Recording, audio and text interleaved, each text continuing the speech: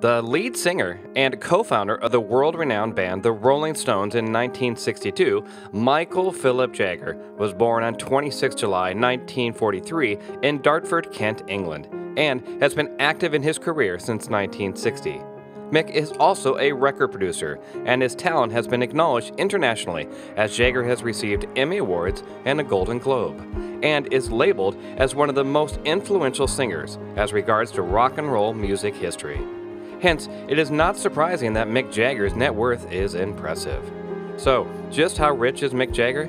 Celebrity.money estimates that Mick has accumulated a net worth of over $360 million as of early 2017 from singing and songwriting, often in collaboration with fellow Stone Keith Richards. Mick Jagger was educated at Dartford High School and then at the London School of Economics, but dropped out to concentrate on his musical career. Mick is the older brother of Chris, both sons of Eva Ensley Mary and Basil Fanshawe, Joe Jagger. Chris also pursued a career in the music industry, releasing two albums in the 1970s, but Mick was always more successful in music.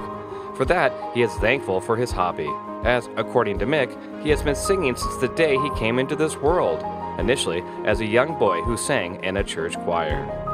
The Rolling Stones were co founded with Keith Richards, Mick's childhood friend, a couple of years after leaving high school. At that time, they were sharing an apartment and met Brian Jones, who was to become a guitarist with the Rolling Stones. The new band made its debut performance in 1962 in London with other members of the group, including Tony Chapman, Dick Taylor, and Ian Stewart.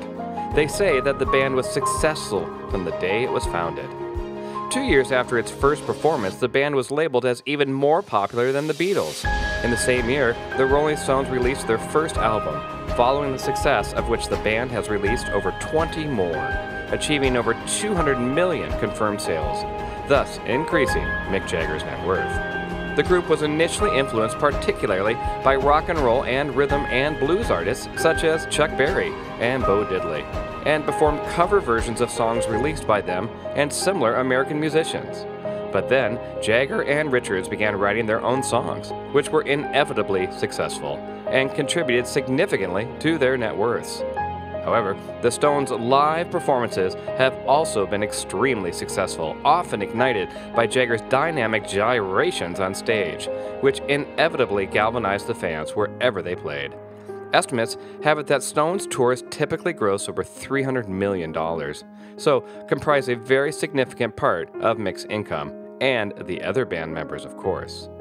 In his personal life, Mick Jagger has admitted to being a persona living against traditions and well established cultural values, that Mick has had problems with drugs, along with other group members, and was first accused of using drugs in 1967, is a well known fact although luckily for them, none of the group was arrested. However, the band did not dispense with drugs, with subsequent painful consequences. The band's guitarist Brian Jones died as a result of drug abuse in 1969, and other members of the Rolling Stones recovered slowly from the loss. Regardless, Mick Jagger was somewhat controversially knighted by the Queen in 2002. In his less than personal private life, Mick Jagger has been married twice to Nicaraguan actress Bianca de Macías from 1971 to 1978, and to American model Jerry Hall from 1990 to 1999. He has also publicly been associated with several partners, including with fashion designer L'Wren Scott from 2001 until her death by suicide in 2014, and Melanie Hamrick since 2014. He has seven acknowledged children, Mick Jagger still has his main residence in London.